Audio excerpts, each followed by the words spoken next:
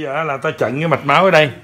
Thì khi đối với cái y mạch đó là đau ở đây là do bị bị bị bị tắc. Ha thì bây giờ mình kẹp vô kẹp sát vô đi kẹp ở mức cho phép thôi. Ha, giờ ta vuốt nè. Rồi mọi người nhìn cái thấy cái này nó vết này lên màu chưa? Thấy không? thấy không? Thì giờ mình vuốt đây nè. Thấy không? Rồi vuốt đây nè. Rồi vuốt nè. Rồi thả ra. Tí banh đi tay kia lấy banh này. À, lấy bách đi. rồi xong á là để không ra không có gì hết. Rồi ta vuốt ở đây.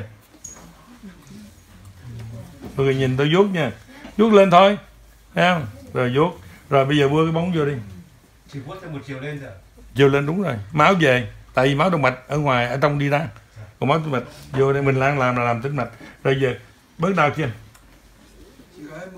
đau chưa chị ngồi xuống đây chị tôi trên đó chị mà thấy cái- Hơi hơi đau. hơi hơi đau nhưng mà bớt phải không Dạ cũng cũng cũng đây nè tại vì tôi vuốt lên bị nó nó nó nó tắt nó đeo cái gì thấy không đau.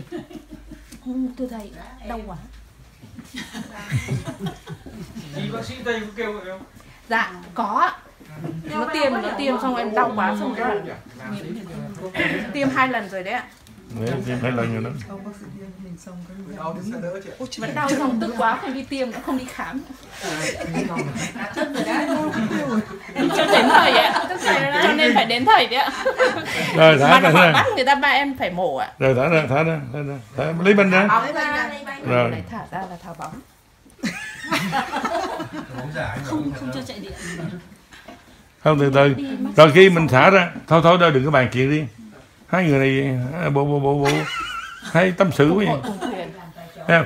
Rồi thì mình sẽ mà mình khóa rồi mình đẩy. Rồi còn giờ mình mở rồi mình đẩy ha. Rồi kẹp banh lại tiếp đi. Thì mình làm ba lượt vậy đó. Rồi bây giờ kẹp lại nữa. Sao bây giờ hơi đau hả? Đau nhiều hơn phải không? Dạ.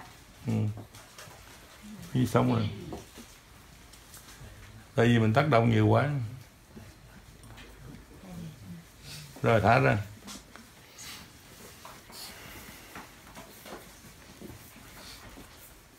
rồi bây giờ thử co tay co chân lại coi co tay lại coi Hơi đau. ạ. hơi đau phải không Dạ cũng vẫn hơi đau.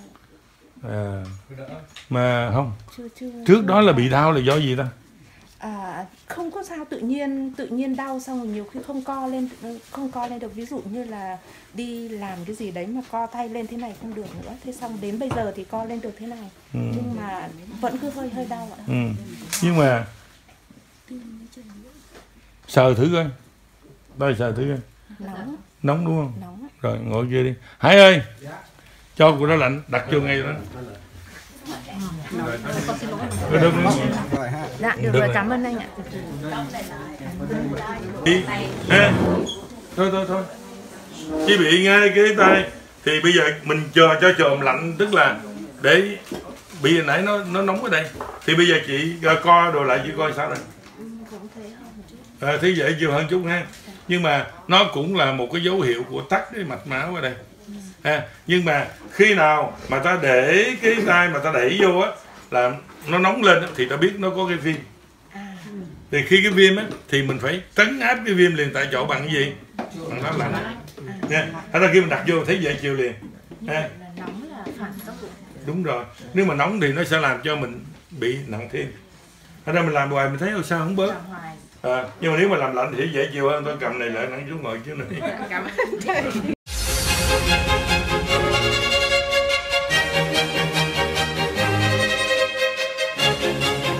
Viện Nghiên cứu và ứng dụng bấm huyệt thập trì liên tâm.